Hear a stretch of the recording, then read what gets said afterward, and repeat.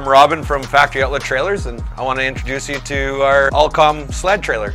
It's a high elevation and it's got lots of features such as a stereo right here, lots of hooks, subwoofer in the front there, fuel doors, and it also comes with a, a boot dryer in the front.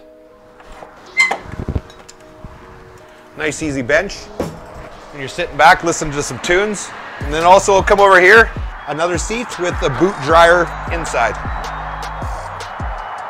Comes with an onboard battery and it also comes with heat. Now, this trailer is an 8.5 by 24 with 9800 GVW, so it's got two 5,200 pound axles in it. This is going to be the Mac Daddy of the trailers. This is what you're going to take to the mountain and be the king of the hill. With this trailer, the high elevation by Alcom.